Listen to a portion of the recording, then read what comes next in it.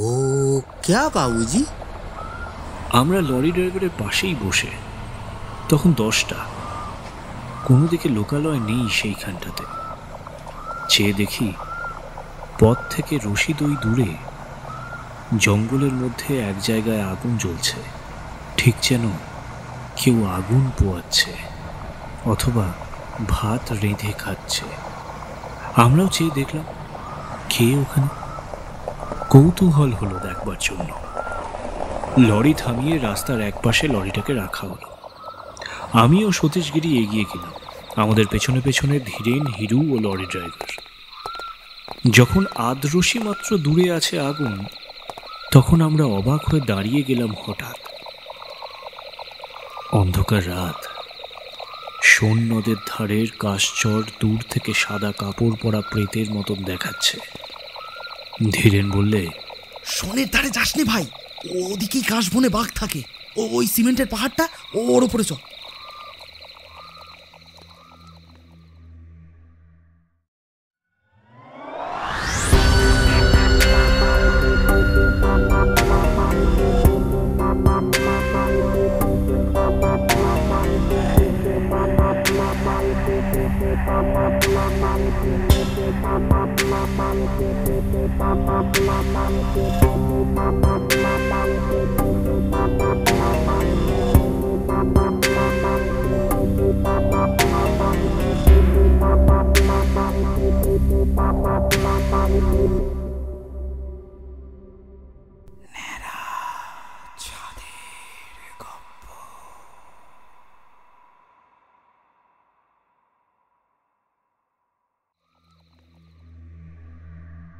ন্যাড়া ছাদের গপ্পতে আপনাদের সবাইকে স্বাগত জানাই। আজ আপনাদের জন্য বিভূতিভূষণ বন্দ্যোপাধ্যায়ের লেখা গল্প ছেলে ধরা গল্প পাঠে সব্যসাচী চৌধুরী। মুখ্য ভূমিকায় গল্পের কথক ধীরেন, হিরু, সতীশগিরি এবং মুন্নু আহির। গল্পের সূত্রধার আমি সৌম্য। শুরু হচ্ছে আজকের গল্প বিভূতিভূষণ বন্দ্যোপাধ্যায়ের লেখা ছেলে ধরা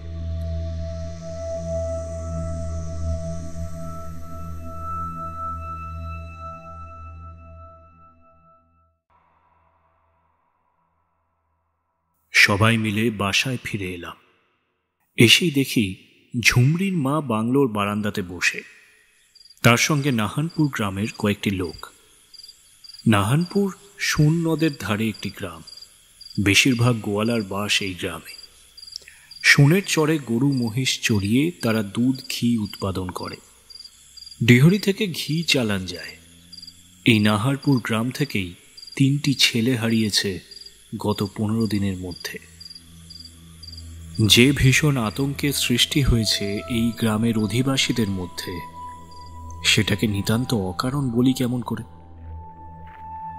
একটা লোক এগিয়ে এসে বললে বাবু কি হলো? আমরা বললাম কিছুই পেলাম না তোমরা তো খুঁজছিলে? হ্যাঁ বাবুজি আমরাও কিছু পাই নাই। তোমরা কোন দিকে গিয়েছিলে?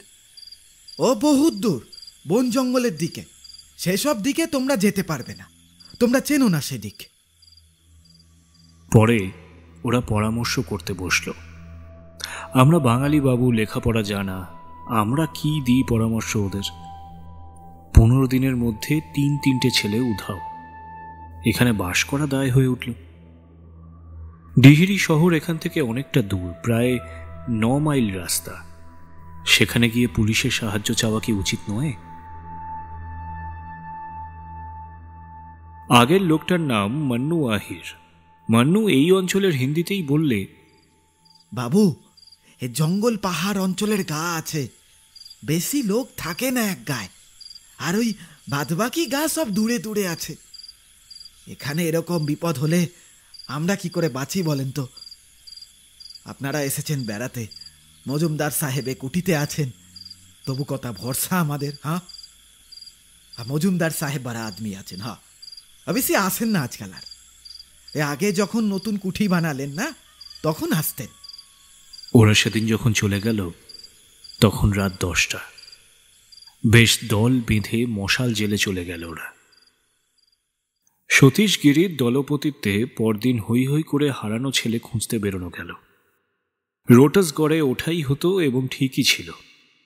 কিন্তু একজন মহিষ চড়ানো বৃদ্ধ রাখাল আমাদেরকে বারণ করলে ওখানে কি করতে যাবে বাবুজি? রোটাসগড়ে লোক থাকে না। চৌকিদার একজন আছে সে সবসময় ওপরে থাকে না নিচে নেমে আসে। ওখানে যাওয়া মিথ্যে। বনের মধ্যে এক স্থানে আমরা সেদিন বাঘের পায়ের ছাপ দেখলাম। মহুয়া গাছের তলায় দিব্যি বড় বাঘের পায়ের থাবার দাগ। আমাদের মধ্যে একজন বললে ওদের বাঘে নিচ্ছে না তো? যা বাঘের ভয়ে দেশে? হিরু বললে তাই বা কি করে সম্ভব? বাঘ গায়ের মধ্যে ঢুকলে সেখানে তো পায়ের দাগ থাকতো। দুপুরে আমরা খেতে এলাম বাসায়। সোনের চরে বালু হাঁস শিকার করেছিল ধীরেন আজ সকালে আমাদের বেরোবার আগে। দশ মিনিটের মধ্যে তিনটি। খুব মজা করে হাঁসের মাংস খাওয়া যাবে সবাই মিলে। সতীশগিরি খাওয়ার সময় বললে শিকার করা বর্বরের কাজ তা জানো? আমরা সবাই চুপ। হিরু বললে বাজার থেকে মাংস কিনে খাওনি কখনো? সতীশগিরি বললে আমি দেখে শুনে তো আর সে জন্তুকে মারিনি। আমি না কিনলে অপরে কিনতো। খাওয়া দাওয়ার পরে হঠাৎ বাইরে একটা গোলমাল উঠল। জনা কয়েক লোক এসে হাজির হলো বাংলোর কম্পাউন্ডে ব্যস্ত সমস্তভাবে। সতীশগিরি এগিয়ে গিয়ে বললে কি হয়েছে? কি হয়েছে কি? ওরা বললে আবার ছেলে চুরি গিয়েছে আজ। আমরা সবাই অবাক। সতীশ বললে আজ? কোন গা থেকে? ওই নাহানপুর থেকে দু মাইল ওই দিকে উনাও বলে একটা গা। মা তার ছোট ছেলেকে নিয়ে ফিরছিল গায়ের বাইরের মাঠ থেকে। ছোট ছেলেটাকে রাস্তার ধারে একটা জায়গায় রেখে তার মা গেছিল শালপাতা ভাঙতে। ফিরে এসে দেখে ছেলে নেই। বাঘের পায়ের দাগ? না বাবু। তাহলে মানুষের? অত ভালো করে মেয়ে মানুষ কি দেখতে কি দেখেছে কে জানে? আমরা বাংলো থেকে সন্ধ্যের আগেই বেরিয়েছি। কত জায়গা যে খুঁজলাম, কিন্তু কোনো পাত্তা পাওয়া গেল না খোকাটির। সেই বনবেষ্টিত পাহাড় অঞ্চলে সন্ধ্যের পর বেরোনো যে কতটা বিপজ্জনক তা আমরা জানি। কিন্তু তবু তবু ছেলেটিকে যদি খুঁজে এনে মায়ের কোলে দেওয়া যায়, তাতে যে কত বড় আনন্দ। যদি পারা যায়, তাহলে যদি খোকার মায়ের মুখে হাসি ফোটাতে পারি। এদিকে রাত হয়ে আসছে। সেদিকে আমাদের দৃষ্টি আকর্ষণ করল হিরু। বিদেশ বিভূই জায়গা জঙ্গলাবৃত পাহাড় চারিধারে। বাঘের ভয়ও আছে। বৈশাখ মাসের চড়া রোদে পাহাড় তেতে এমন আগুন হয়ে আছে যে এক প্রহর রাত্রি পর্যন্ত তা ঠান্ডা হয় না। তাও সত্যিকারের ঠান্ডা হয় না। বিদেশে বেড়াতে এসে শেষে কি বাঘের পেটে যাব? কথাটা ঠিক। সতীশ মহারাজের আর কি? তার বাপ নেই মা নেই মরে গেলে কাঁদবে না কেউ কিন্তু আমাদের তো আর তা নয়। আমাদের সবাই তো বেঁচে আছে। হিরু বললে আজ কদিন হলো আমরা এসেছি এখানে? আজ তেরো দিন হলো। আর কতদিন থাকা হবে? আর কত? চার পাঁচ দিন? কিন্তু এই হাঙ্গামাটা না চুকলে তো? সে তো বটেই। হিরু বললে ঘরের পয়সা খরচা করে বেড়াতে এসে কি ফ্যাসাদ। ধীরেন একটু বিরক্তির সঙ্গে বললে আরে হ্যাঁ কিন্তু কে জানতো এমন মন হবে? হ্যাঁ? তাহলে কি আর ওই সতীশ আমাদের মধ্যে সাধু প্রকৃতির লোক। অনেস্ট সত্যবাদী পরোপকারী ওকে এই জন্য আমরা সতীশ গিরি কখনো সতীশ মহারাজ বলে ডাকতাম। অবশ্যই ব্যঙ্গচ্ছলেই ডাকতাম। সতীশ মহারাজ বললে ওর মায়ের কান্না শোনবার পরেও তোমরা এই কথা বলতে পারলে। ও মাঝে মাঝে আমাদের বিবেক জাগিয়ে তোলবার চেষ্টা করে এই রকমভাবেই সেদিন এক বুড়ি টমেটো নিয়ে যাচ্ছে আমরা তাকে ডেকে বললাম যে এসো টমেটো কিনবো। বুড়ি বোধহয় বাজার দর জানে না। সে বললে বাজারে তোমরা কত করে কেন বাবুজি? আমরা জানি যে ছ পয়সা বাজার দর এক সের টমেটোর। হিরু বললে চার পয়সা দর বাজারে দিবি? বুড়ি দিয়ে গেল। কিন্তু সতীশ গিরির তিরস্কারে সে টমেটো আমাদের মুখেই ওঠেনি সেদিন।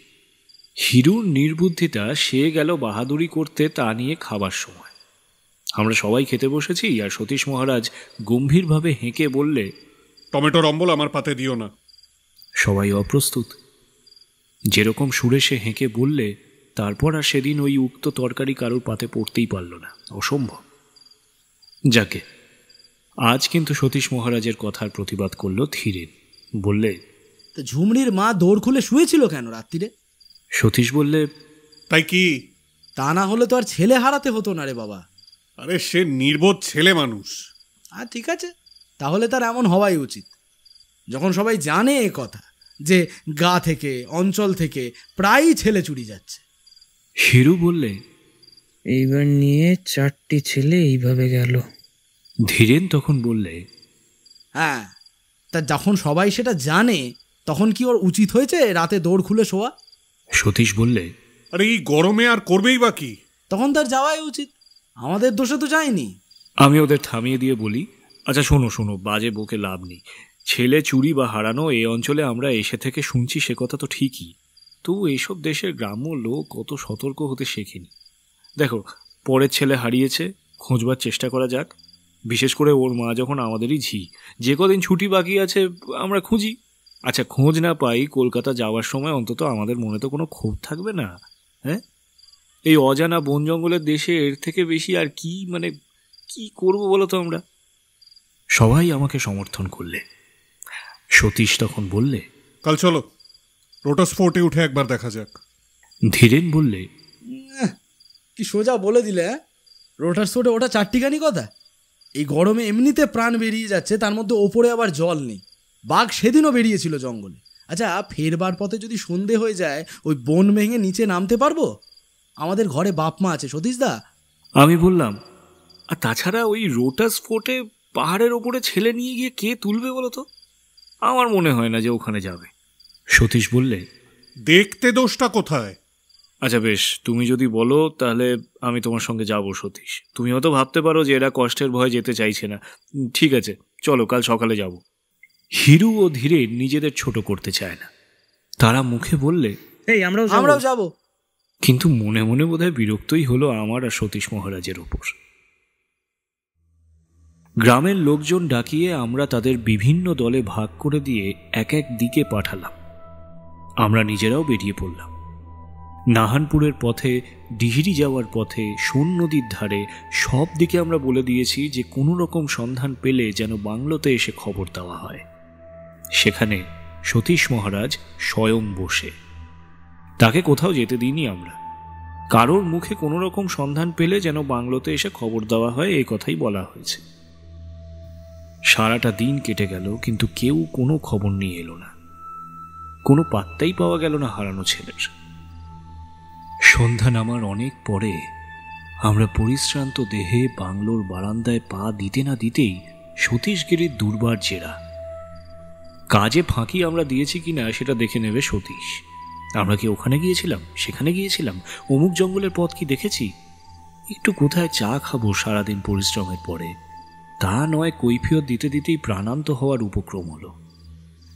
যাই হোক, খেয়ে দিয়ে সকাল সকাল শুয়ে পড়া গেল। কাল সকালেই নাকি আবার বেরোতে হবে। ধীরেন বললে, চলো চলো, বলছি, পরশু না এখান থেকে খসে পড়ি, বুঝলে? এ ঝঞ্ঝাট আর ভালো লাগছে না। উফ। আরও দুদিন কেটে গেল। কোনো ছেলেরই পাত্তা পাওয়া গেল না। ঝুমরির মা কেঁদে কেঁদে বেড়ায়। গ্রামের লোকজন এসে ফিরে যায়। আমরা কদিন খোঁজাখুঁজির পর ক্রমে আলগা দিলাম। ক্রমে আরও দিন কেটে গেল। সেদিন আমরা জিনিসপত্র বাঁধা ছাতা করে রওনা হয়ে পড়লাম। সিমেন্ট পাহাড়ের গা কেটে পাথর নিয়ে যাচ্ছে ডিহিরিতে। সেই লরিতে আমরা চলেছি। জিনিসপত্র সমেত আমাদের ডিহিরি স্টেশনে পৌঁছে দেওয়ার ভাড়া সাত টাকা ধার্য হয়েছে। লরি ছাড়ল রাত আটটার সময়। পাথর বোঝাই করতে দেরি হয়ে গেল লরিটার। পাহাড় জঙ্গলের পথে বোঝাই লরি বেশি জোরে যেতে পারছে না, আর আমরা দিন কুড়ি পরে কলকাতায় ফিরছি। তাই মনের আনন্দে গান গাইতে গাইতেই চলেছি। ডিমহা ও বোচাহির পাহাড়ের কাছাকাছি পার্বত্য ক্ষুদ্র নদী পার হতে পাথর বোঝাই লরির বেশ খানিকটা সময়ই লাগল। হাঁটুখানেক জল নদীতে। ঘন জঙ্গল দুই ধার। হরিতকি মহুয়া ও শাল। কি একটা যেন পাখি কুসরে ডাকছে ডিমহা পাহাড়ের ওপরকার বনে আর আমাদের লরি চলেছে হু হু করে। এমন সময় হঠাৎ লরিওয়ালা বলে উঠল ও ক্যা বাবুজি? আমরা লরি ড্রাইভারের পাশেই বসে তখন দশটা। কোনো দিকে লোকালয় নেই সেইখানটাতে। চেয়ে দেখি পথ থেকে রশি দই দূরে। জঙ্গলের মধ্যে এক জায়গায় আগুন জ্বলছে। ঠিক যেন কেউ আগুন পোয়াচ্ছে অথবা ভাত রেঁধে খাচ্ছে। আমরাও চেয়ে দেখলাম, কে ওখানে? কৌতূহল হলো দেখবার জন্য। লরি থামিয়ে রাস্তার একপাশে লরিটাকে রাখা হলো। আমিও সতীশগিরি এগিয়ে গেলাম। আমাদের পেছনে পেছনে ধীরেন হিরু ও লরি ড্রাইভার। যখন আদ্রসী মাত্র দূরে আছে আগুন, তখন আমরা অবাক হয়ে দাঁড়িয়ে গেলাম হঠাৎ। অন্ধকার রাত। সোন নদের ধারের কাশচর দূর থেকে সাদা কাপড় পরা প্রেতের মতন দেখাচ্ছে। ধীরেন বললে, শোনের ধারে যাসনি ভাই। ওদিকেই কাশ কাশবনে বাঘ থাকে। ওই সিমেন্টের পাহাড়টা ওর উপরে চল। সতীশ মহারাজ গম্ভীরভাবে বললে ওটা সিমেন্টের পাহাড় নয়। সিমেন্ট জিনিসটা বালির সঙ্গে আরও অন্য জিনিস মিশিয়ে তৈরি হয়। ওটা বেলে পাথরের পাহাড় যাকে বলে স্যান্ডস্টোন। আমাদের মনের অবস্থা তখন সতীশগিরির ভূতত্ত্ব বক্তৃতা শুনবার মতন অনুকূল নয়। আজ আর আমরা খুঁজতে রাজি নই। আর খুঁজবই বা কোথায়? বড় সিমেন্টের পাহাড়ের তলায় শালচারা আর কি কি গাছের যেন বন জঙ্গল।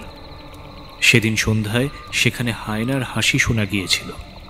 সে হাসি গভীর রাত্রে শুনলে প্রেতের অট্টহাসির মতন শোনায়। শহুরে ছেলে আমরা, এসব শুনলে আমাদের গায়ে কাঁটা দেয়। পাহাড়ের ওপর কলকাতার কোন ভদ্রলোকের এক বাংলো রয়েছে, কিন্তু তিনি কোনোদিনও আসেন না। তার বাড়ির দরজা জানলায় উই ধরেছে, কাঠের ফটকটা ভেঙে ঝুলছে কবজার গায়ে।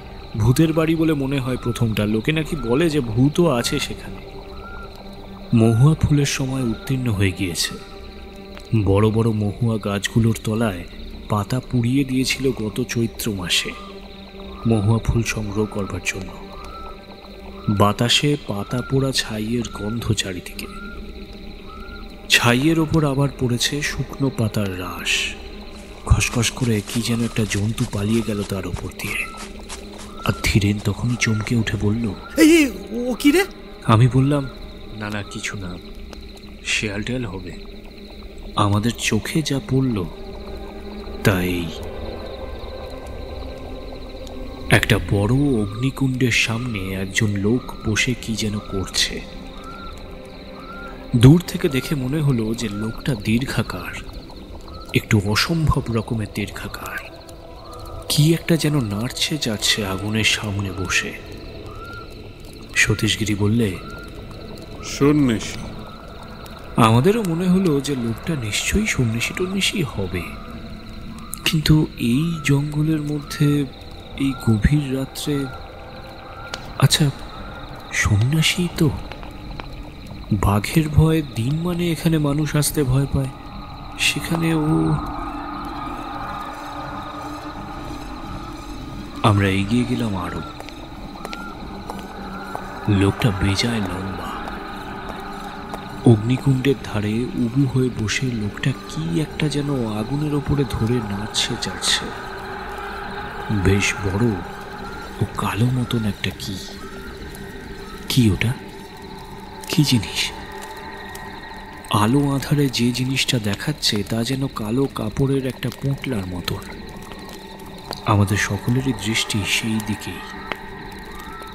কি জিনিস ওটা? হঠাৎ আমি চমকে উঠলাম। সেই কালো বান্ডিলের মতন জিনিসটা থেকে যেন একটা ছোট্ট হাত ঝুলে পড়ল। সঙ্গে সঙ্গে সতীশ মহারাজ ও ধীরেন একসঙ্গে বলে উঠল হ্যাঁ রে ও তো একটা ছোট্ট ছেলে। হ্যাঁ তাই তো দেখছি একটা ছোট্ট ছেলে। আমরা তখন ভয়ে বিস্ময়ে অবাক হয়ে সেখানে দাঁড়িয়ে গেলাম। অদূরে সেই অতি দীর্ঘাকার বিকট দর্শন লোকটাকে রাক্ষসের মতন দেখাচ্ছে। সন্ন্যাসীর সাজ বটে।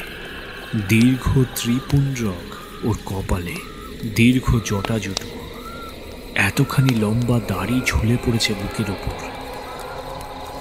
লোকটার সামনের অগ্নিকুণ্ডের ওপর একটা ছোট্ট ছেলেকে সে দু হাতে ধরে ঝলসা পড়া করছে।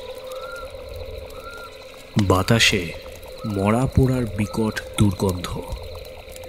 আমরা কেউ এগোতে সাহস করলাম না। কারোর মুখে কথাটিও নেই। এই গভীর রাত্রি, নির্জন পাহাড় জঙ্গল, কোথাও লোকালয় পর্যন্ত নেই কাছে। আর আমাদের সম্মুখে এই নররাক্ষস। কেমন এক প্রকার আতঙ্কে যেন আমরা সবাই মোহগ্রস্ত হয়ে চুপ করে আছি। এক পাও কেউ এগোয় না। লোকটা আমাদেরকে দেখল কটমট চোখে, আর তারপর যেন বিরক্ত মুখে সেই আধ ঝলসানো ছেলেটাকে কাঁধে ফেলে দিলে আমাদের চোখের সামনে। ঠিক যেমন লোকে কাঁধে গামছা নেয়, ঠিক একই ভঙ্গিতে। ঝলসানো ছেলেটাকে কাঁধে ঝুলিয়ে ধীর, গম্ভীর পদক্ষেপে অন্ধকারে বনের ওপারে অদৃশ্য হয়ে গেল সে। সতীশগিরির মুখ দিয়ে শুধু একটাই কথা বেরিয়ে এলো। ছেলে ধরা।